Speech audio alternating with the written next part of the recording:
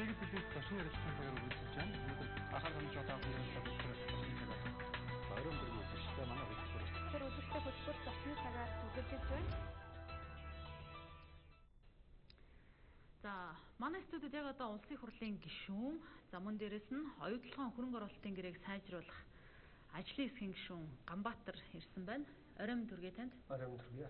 За оюутлогын хөрөнгө оруулалтын гэрээг сайжруулъя гэд ажлын хэсэг томилогдсон байгаа. За энэ ажлын хэсэг бол үе хөвлөлийн хурал хийж ажлын одоо явц ямар байгаа вэ гэдгийг хэлдэг. За эхнийх нь бол энэ далд уурхаа ашиглалтанд орох хугацаа хойшлоод байгаа нь одоо ямар учиртай юм бэ гэдэг тийм хөндлөнгийн шинжээчийн дүгнэлт гаргуулсан. Энэ хөндлөнгийн шинжээчийн дүгнэлтийг харахад бол Tinto-гийн тайлбарлсан үндэслэл үндэслэл муутай гэдэг энэ дүгнэлтэд хүргэсэн байсан. Тэр өчтөрхөн бас ажлын хэсгээс бас дахиад хөвлөлийн урал хийж илээ. Rio Tinto-гоос хоёр ч захидал манай улсад ирсэн, санал тавьсан гэд. Тэр би асуумаар байна л да. Та энэ ажлын хэсэгт өөрөө орж ажилламаар байна гэдэг хүсэлтэд илэрхийлээд өнгөрсөн нэгдүгээр сард одоо энэ төв талбай дээр үлсгэлэн зарлж исэн. Та ажлын хэсэгт хүсэж байгаад орсон. Ажлын хэсэгт орох ямар байна танд? Ямар өөрчлөлтийг та хамгийн хий гэж бодсон? Одоо явж байгаа процесс төлөвлөсөн хэмжээнд хүрч гэнэ үү? За баярлалаа оюу толгойн ажлын хэсэг э, одоо маш сайн идэвхтэй ажиллаж байгаа. Энэ дотор одоо э, бид гэхээс илүү Монголын засгийн газар энэ дээр маш их сэтгэл гаргаж ажиллаж байгаа. Хизээ Монголын засгийн газар Монголын ард түмэнд Монголын ард түмний өөрийнх нь хөрөнгийн хувь заяаны талаар ингэж удаа дараа байн бай ярьж ирсэн бэ. Хизээ Монголын засгийн газар ерөнхий сайд одоо хуулийн яамны сайдаар ахлуулаад одоо явж байгаа энэ ажлын хэсэг яг энэ Rio Tinto-той энэ тэнцүү хэмжээнд өгөө аваатай ачтаач үзэлцсэн юм хилцээст орж исэн юм бэ. Энэ бол үрдүн. Дээр нэмээд урдны олон олон засгийн газруудын одоо оюутлогоотой хийж байгаа хилцээрүүд нь яадаг байсан бэ гэвэл сангийн яам юм уу хууль зүйн яам руу оюу толгоогоос бидэнтэй иймэрхүү байдлаар ингэж тохиролцоорой гэдэг захиалгын гэрээ нь орж ирдэг. Тэрийн одоо Монголын засгийн газар чив чимээгүй Монголын ард түмэн өмчийн эзэнд юхт хэлэхгүйгээр чив чимээгүй байжгаад хоорондоо жүжигчилсэн байдлаар зуралцдаг байсан энэ байдал өөрчлөгдлөө.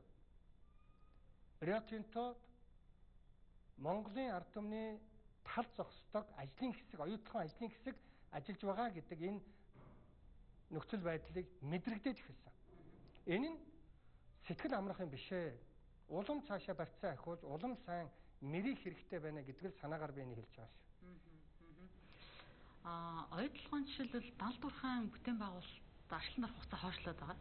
Тэгэхээр хөрөнгө оруулалтын зардал нь нэмэгдээд байгаа.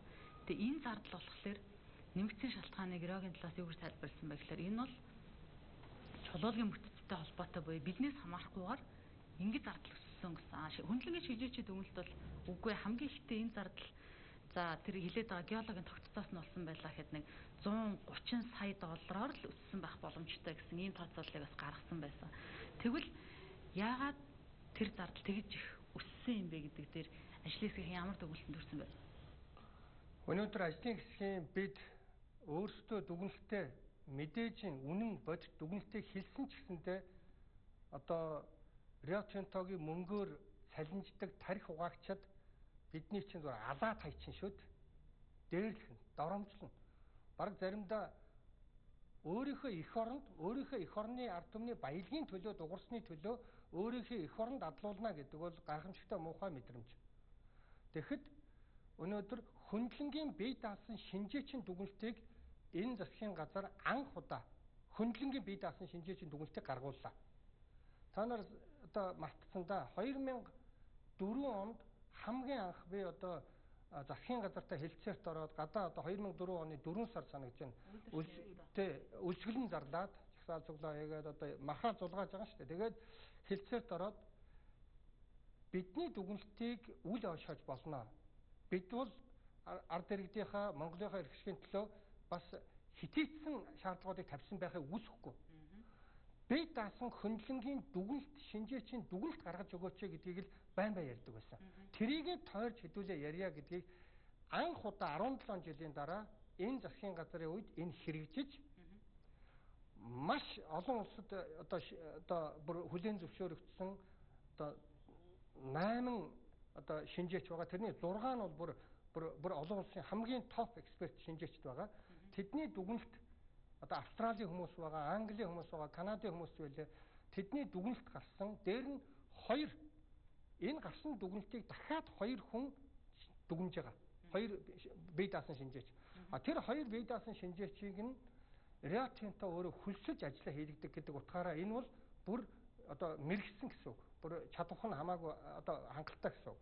Ингээд дүгнэлт бол гарахтаа юун геологийн чулуулга За тэгвэл юунаас олж юу геологийн чулуул та нар Монголын ард түмнийг молгодож ханахгүй байна уу ичихгүй байна уу гэдэг дүгнэлт гарсан. Тэн дээр зардлын хэтрэлт хугацаа хэтрэлт зардлын зардлын хэтрэлт бол менежментийн алдаанаас ямар ч байгалийн тэр чулуулгын алдаа одоо алдаа юу вэ чулуулгын бүтцийн өөрчлөлтөөс болоогүй.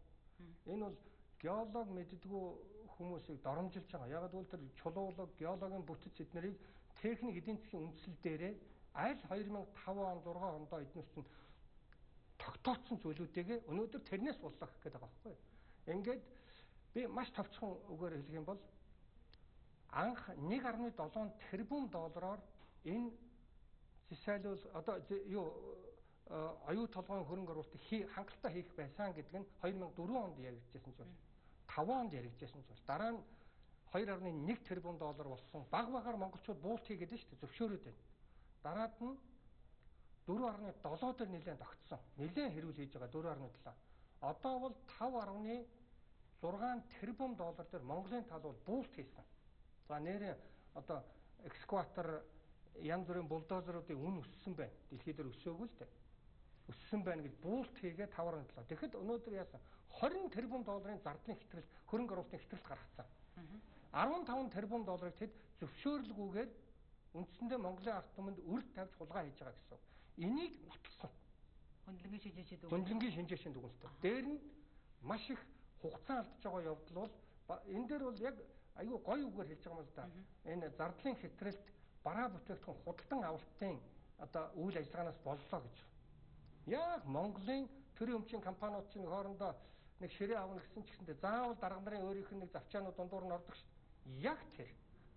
Ийм арчаагүй аргаар Риотинто Монголын ядарсан ард түмнийг дээрэмтнэ гэдэг бол байж болохгүй гэдэг ийм дүгнэлтийг Ганбаатар хэлсэнгүй. Оюун эрдэнэ ерөнхий сайд хэлсэнгүй. Харин энэ засгийн газрын бий болгосон хөндлөнгийн бие даасан шинжээчийн дүгнэлт гаргасан. Дүгнэлтээр гарсан. А энэ дээр зүгээр давсанд нэг зүйл би хэлмээр байна. Үе үеийн засгийн газар Монголын ард түмний төлөө оюутлогоо дээр ажиллах гэсний төлөө Риотинтогийн захиалгаар татан болгодог, нухсалдаг, байхгүй болгодог байсан. Алтан уяг ерөнхий сайд оюу толгойн төлөө байсан аваад хайсан. Дараад нь сайхан бэлэг гарч ирээд одоо би өөрөө ажлын хэсэгт нь одоо даваасран төсвийн банкорын дарга намайг одоо надад боломж өгч би ажлын хэсгийг ахлаад одоо бас улаан сайд, тэрвш даваг, ган хоёрыг сайд байна.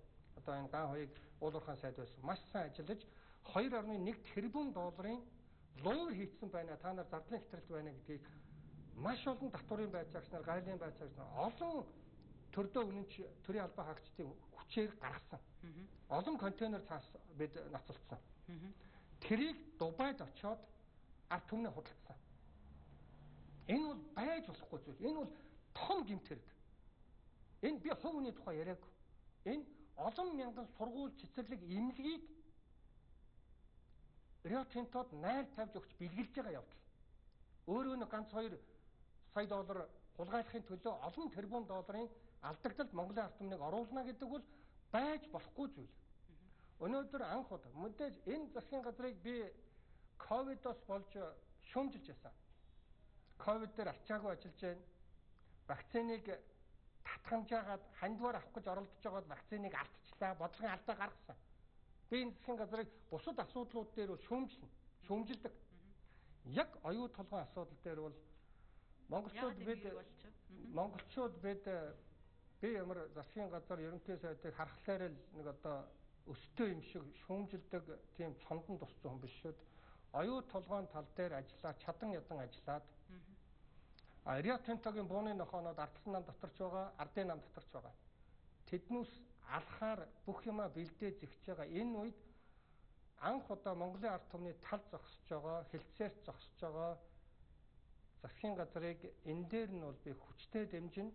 А дээр нь нэмээд хэлэхэд харин одоо одоо 34%-ийг одоо одоо зээл хуулиас нь чөлөөлнө гэсэн юм яриад байгаа шүү дээ. Бид баялгаараа 34%-ийг битээл 34-өөс дээш хувийг авах ёстой гэдэг байр суурь анх 2009 оны 4 сарын 7-нд миний явуулж ирсэн үйлдвэрчний эрхлэгч байхдаа явуулж ирсэн бичиг байна. 34% баялгаараа бид авч байгаа юм бол ямар ч үр зээл тооцогдох ёсгүй. Тэгвэл тэр хий хоосон дээрэндэж бидний баялагийг дээрэндэж авсан зүйлээ зээлээр авсан гэдэг байдлаар луурдж 22 тэрбум долларын өрийг анх удаа Tinto энэ засгийн газрын өмнө буулт хийж тэглэе гэдэг саналаа тавьсан байна. Дээр нэмээд нэг их 80 төгрөгийг татварын маргаан дээр бас эднес чи ялагдаад нэг их 80 төгрөгийг бас монголчууд өгсөн байгаа шүү дээ. Тий, өмнө тараасан. Тэгэхээр энэ болгоныг бид бол барьцаа ахиулж Монголын эрх ашиг хамгаалах ёстой. Барьцаалж оронд нь одоо оронд нь Нью-Йорк, Лондонгийн шүүхтэр байгаа асуудал дээр сөрөг нэхэмжлээ буцааж татах болцол тавих юм бол хэрхэвч болохгүй шүү гэдгийг би энэ засгийн газар оюун ерөнхий сайдад бүр онцгойлж анхааруулж хэлмээр. Мэдээж тийм байхгүй гэдэгт би итгэлтэй байна. Тэгвэл оюун толгой бидний дээрэмдэгтэй дэндүү ухаантай, дэндүү сувдаг, дэндүү хувайгүй зүтгэдэг учраас заавал аль биесээр сануулж ах хэрэгтэй. Сөрөг нэхэмжил бол монголчуудын 400 тэрбум долларын луурдуулаад алдсан баялагийг буцааж авна гэсэн үг. Та сая яриандаа хэлж байгаа 34% энэ юу тэглэе гэж те Монголыг эзэмшиж байгаа. Гэтэл тэглэе гэсэн санал ирсэн юм уу? Аль эсвэл 34% хүүдээр зээлж авсан мөнгөн дээр тооцож байгаа хүүдгээ багасгах юм санал алтан бичгт байсан юм уу? Багасгах санал ярьсан. За ямар хэмжээгээр? А яг яг багасгахя багасгах боломжтой тэр тухай ярья л гэж байгаа. Яг хэмжээнүүдөө яриаггүй ажлын хэсэг дээр бас наривчлсан тоо баримтын талаар ярьж байгаа юм би бас хамаагүй ажлын хэсгийн дарга зөвшөөрлгүйгээр ярих хэсгүй. Яг нөө хэвлэл мэдээлэлээр ярьсан зүйлүүдийн л э, ярина. Одоо ажлын хэсгийн бас нэг тийм дагцсан юм байх шиг байгаа. Өөрөөр хэлбэл нөө хилцээрийн үеийн тактикуудаа бас нарийн хамаагүй дэлгээд байвал нөгөөдөл идэж болно л гэсэн санаагаар би хэлж шээ. Аа одоо ингээд Риотинтагийн талаас албан бичиг ирчихлээ тийм үү? За нэг их 80 төгрөгийг ингээд 3 жил төлье. За Монголд орж ирэхээс орлогыг ярьж байгаа шүү. За 34% хүүн дээр эргэж харъя гэж байна. Одоо ажлын хэсэг дотроо энэ саналуудыг хүлээж авахар байна уу? Аль эсвэл хүлээж авахгүй өөр чихтэй санал тавья гэсэн юм бодолтой байна уу?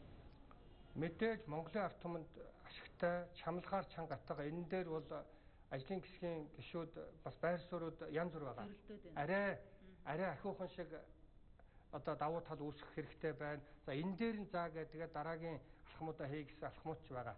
А нөгөө талаас ийм давуу тал өгснөхийн дүнд тэд одоохондоо тавиагүй байгаа ч гэсэндээ сөрөг нэхэмжлээ татчихаач гэдэг ийм увайгүй юмыг ярих үе гэдэг санаа зовнилоо бол би хамаагүй хэлж байгаа. Энэ бол миний байр суурь.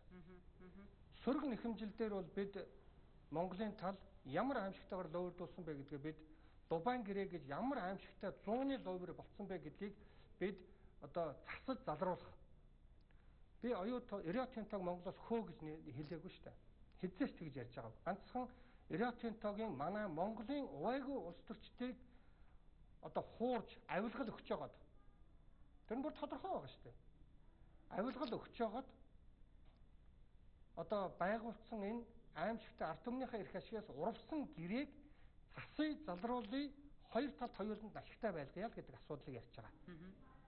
Шинээр ямар санал тавих бол А тэднээс бол шинээр тавьж байгаа асуудлууд бол ямар ч үс өнөөдөр анх удаа Монголын засгийн газрын өмнө буулт хийж байна. Одоо энэ энэ Financial Times гэдэг энэ олон улсын сонин дээр Rio Tinto Монголын засгийн газарт буулт хийх дараах хувилбаруудыг санал болгожээ гэж байна. Анх удаа Монголын ард түмнийг хүндэтгэж байна. Энэ юу гэсэн үг вэ? анх удаа дэлхий тэр чигээрээ монголчууд тэнэг биш ээ. Монголчууд Африкийн одоо ард түмний худалдаг хэдэн тэнэг улс төрчтэй адилхан тийм орон биш ээ гэдгийг анх удаа нотолж байгаа зүйл. Дэлхий биднийг өөрөөр харах боломж.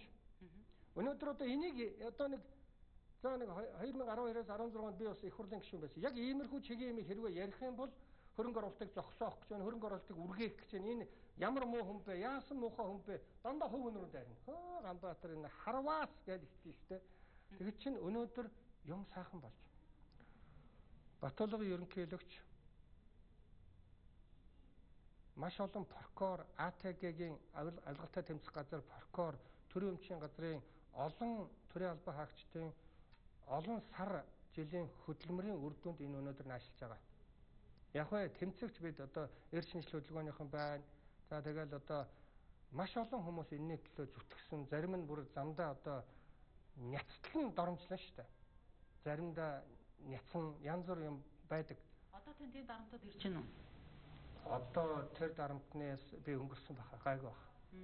Ямар ч байсан би дархлаатай болсон. Ард түмэн энэ хүн юу яриад байна, юу гэдэг гэж ойлгох бах. За яг нарийн ярил яг өөрийгөө ярих бол энд дэндүү жижиг асуудал. Тэгэхээр ажлын хэсэг маргааш хуралдана. Тэ? Тий. Тий, маргааш хуралдах тавтай байсан. Риотын тогийн тавьсан саналуудыг хүлээж авах болов. А энийг ажлын хэсгээр эцсийн дүгнэлтээ гаргаад ажлын хэсэг бас дахиад хэд хэд хуралдах байх. Тэн дээр бол ажлын хэсгийн дарга Нямбатар байр суурь илэрхийлнэ. А би өнөөдөр одоо танаа танаа нэвтрүүлгийн урилгаар би бас ирээд энийг ярих бас сайхан боломж надад өгсөнд баярлалаа. Тэгээд миний байр суурь бол Монголын засгийн газар анх удаа ард түмнийхээ талд оюутлогын асуудлаар зогсож байна.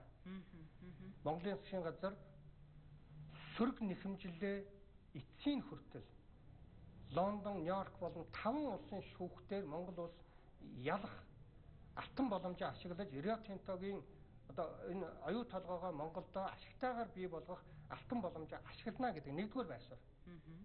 Сөрөг нэхэмжилдээр ач холбогдол өгөх хэвээр энэ дээр ямар нэгэн буцаах тухай асуудал буцаах тухай ойлголт байхгүй. Энэ дээр ямар нэгэн одоо зөвшөлтсөл ойлголцол хэлцээр буулт байж болохгүй сөрөг нэхэмжилдээр. Хоёрдугаар зүйл дээр бол би бол усны асуудлаар нэлээд юм ярихаар төлөвлөж байгаа. Ус бол манай одоо энэ өнгөрсөн 10 жилийн хугацаанд Монголын усны эрдэмтэд зарим гээ да. Одоо би сүүлийн үед дипломат болчиход байгаа шүү дээ. Их уян зөөлөн зарим эрдэмтэд ямар увайгүй биеэ үнэлж Монголын усыг Риотинтод худалдсан юм бэ? Тэр усны талаар ашиглаж болно Монголын байгаль орчинд ямар ч гин зэмгүй гэж дүгнэлт гаргасан ихэнх эрдэмтэд нь өнөөдөр Риотинтод ажиллаж байгаа оюутлахад ажиллаж байгаа гэх юм да. Тэгэхээр би усны асуудлаар нэлээд томоохон асуудал хөндөж тавина. А яг энэ санхүүгийн татварын энэ олон асуудлууд дээр бол 34%-ийг нэг харж үзэж буулгаж тэрнээс үүссэн үр зээлийг буулгах тухай ярьж ингэж бидний ард түмний инээдийг хүргэж басж байгаа юм шиг байдлыг бити үзүүлээрэ а энэ 34 битэл түүнээс дээш хуваар Монголын баялагийг бид үнэлж байгаа. Энэ түүхийн идэ бид үнэлэх ёстой. Өнөөдөр би одоо дээр одоо танаа нэвтрүүлгээр ороод нэлээ 10 жилийн өмнө ярьж байхад одоо Голиаш одоо энэ махан хуураг будаатай хуураг хийчихэд махын үнгүү авсан юм шигээр хуурга зарж болохгүй. Махыг өөрийг үнэлэх ёстой. Энэ хоолны 30% нь 34% нь махан ноогдно гэдгийг тогтох ёстой. Энэ бол зүгээр олон улсад байдаг жишг. За одоо хоёулаа Эрдэнэ төлөвлөртэй холбоотой нэг хоёр асуултыг асууя гэж бодоод байна. Одоо байна л та маш зузаан хоёр хавцас байгаа. За энэ юу вэ гэхээр зэс хайлуулах үйлдвэр барих тухай. За нөгөөх нь болохоор элементийн хөхрийн үйлдвэр гэсэн юм нэртэй. А гэхдээ нийтдээ бол хоёр биш таван үйлдвэр барихаар шийд бол гарсан зэрэгтэй. А гэтэл одоо та болохоор энэ хоёр үйлдвэртэй холбоотой бас нэг дүгнэлтийг хийчихэд яваад байгаа юм билээ гэж би ойлгосон. Тэгэхээр үйлдвэр барихыг бол эсэргүүцэхгүй байгаа юм шиг байна. Энэ хоёр үйлдвэрийг барих төсөл дээр танихаар ямар асуудал огт болохгүй гэж одоо та үзээд байгаа юм. Тий. За та сэтгүүл зүйн салбарын ажилтнууд мэдээлэл ихтэй байдаг утгаараа яг энэгээр та бас зөв дүгнэлт хэлж байна. Тэгээд яг энэ зунжангаа бол би энэ оюутлахын ажлын хэсгээр ажиллаа. А дээр нь энэ Эрдэнэтэд баригдах байгаа энэ үйлдвэрийн тухай ярьлаа. Тэгэхээр энэ хоёр үйлдвэрийн хэзүү дүгнэлтийг би одоо их хурлын гишүүний гурван үүргэл байдаг. Ирэх ч юм уу үүрэг. Одоо дуртай мэдээлэлээ төр засгаас гаргуулж авах гэдэг нэг ирэх бас үүрэг байдаг. Өөрөөр хэлбэл Эрдэнэтийн ард түмэн, Монголын ард түмэн ГОКд одоо энэ оюутлоготой холбоотой энэ олон гэрээнүүдийн талаар мэдээллүүдийг нарийн авах тэр боломж нь хомс. Их хурлын гишүүнд бол энэ мэдээллүүдийг аваад бидэнд дамжуулаарай гэдэг эрх өгсөн бас үүрэг өгсөн. Тэгэхгүй тэрийг зүгээр өөрийнхөө э, компани ч юм уу өөрийнхөө хувийн энэ мэдээллийг авах гээд яваад байгаа зарим нэг хүн байх юм бол энэ буруу гэдгийг би хэлэх гээд байгаа. Тэгэхээр энэ удаад уул уурхай металлургийн химийн үйлдвэрийн цогцлбор үйлдвэрлэл технологийн парк байгуулах юм одоо тэзүүг би авлаа. Уул уурхай яамнаас одоо мөн уул уурхай металлургийн үйлдвэрлэлийн технологийн байгаль орчинд үзүүлэх нөлөөлийн засгийн газрын техник эзэн засгийн тэзүү үндэслэл ийм хоёр том материалыг аваад үзэхэд энэ дээрээс дүгнэлт хийхэд би засайлуулах үйлдвэр элементийн хөхрийн үйлдвэрийг 100% дэмжиж байгаа. Энэ Монгол түмний мөрөөдөл. Гэхдээ энэ нь мөнгө угаах луйвар бас дахиад оюу толгоох шиг гоё юм яриад ард нь хэдэн луйварчд идэж уух ийм арга байж болохгүй гэдгийг нягтлж мөрдөн шалгаж хянаж ард түмэнд мэдээлэх үүрэг нь бол бас их хурлын гишүүний хоёрдугаар үүрэг. Энэ Болохоор нэгдүгээр энэ энэ үйлдвэрүүд эдийн засгийн хувьд алдагдaltaй. Тэзүүг нь ингээд сайн үзэх юм бол жилийн 24 сая долларын алдагдал 24 сая долларын алдагдлалд орохоор одоо тийм тооцоонууд гарсан байна. Хоёр үлдвэрээс үү? Хоёр үлдвэр. Одоо эргэлтийн хөрөнгийн огт тооцоогүй, одоо хөрөнгө оруулалтын өгөөжийн дотоодын өгөөжийн хувийг тооцоогүй, үйл ажиллагааны зардал, илэгдлийн зардал ерөөсөй байхгүй. Одоо би зөвхөн эхний гурыг ярьж шээ 7 зардал тооцоогүй. Хоёрдугаар. Тэгэхээр энэ үйлдвэр эдийн засгийн хувьд алдагдaltaй ашиггүй байна гэдэг нь энийг би энэ үйлдвэрийг бити бариач гэж байгаа юм биш. Ийм байна шүү эрдэнчүүдээ Монголын ард түмээ болох юм байгаа үстэй гэж эрдэнтийн ард түмнээс асуух хэрэгтэй.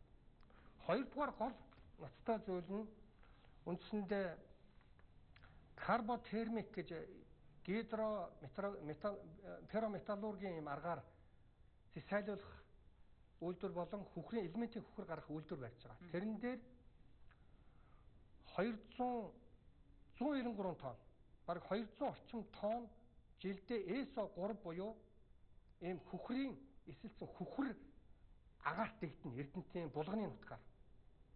Энэ ойролцоогоор одоо 20 тонн сомсмол цэргүүлтэй сомсмолоор дүүрэн хүхэр агаарт ялгарна гэсэн үг байхгүй. Манай Эрдэнэт бол одоо чийгшилтэй ууршилттай газар. Энэ хүхрийн бороо ороход ургамал ногоо урахгүй. Энийг Ганбаатар өөрөө зохиож яриаггүй. Энэ тэзүүдээр байгаа зүйлийг би ярьж байгаа байхгүй. Ийм байхад өнөөдөр энийг манай Эрдэнэтийн ард түмнээс асуу. Өнөөдөр эдийн засгийн хувьд ашиггүй байна. А энэ дээр бол 700 хүний ажилтаа болгоно гэж байгаа. Би дэмжиж байна. А тэгвэл тэрийг 200 энэ 200 тонн ЭСО 3 агаарт цацагдана гэдэг нь тэзүүдээр нь байгаа. Ямар хугацаанд вэ? Үйлдвэр нэг жил жилд. нэг жил үйлдвэр ашиглалтанд орсноос хойш үйлдвэр 2 жилийн дотор хөрөнгө оруулалт хийхдээ эхний жил нэг 227 сая доллар дараагийн жил 347 сая долларын хөрөнгө оруулалтыг үндсэндээ хятадуудаас авна. Тэр бол байж болно зөв. Энэ сайн нөхцөл э, тулгсан бол Оросоос уу, Америкаас уу, Японоос энэ хамаагүй. Тэгэхээр би зөвхөн эхний хоёр юмыг танд ярьлаа. Тэгэхээр энэ олон үндслүүдийг эрдэнтчүүдэд тайлбарлаж эрдэнтчүүдээс зөвшөөрлийг авч за тэр хөхрийн хүчил нь хамаагүй. Тэр алдагдaltaй байх нь хамаагүй. Тэр үйлдвэр барьжлаа бол болоо гэх юм бол оюутгаа ямар ч ашиггүй.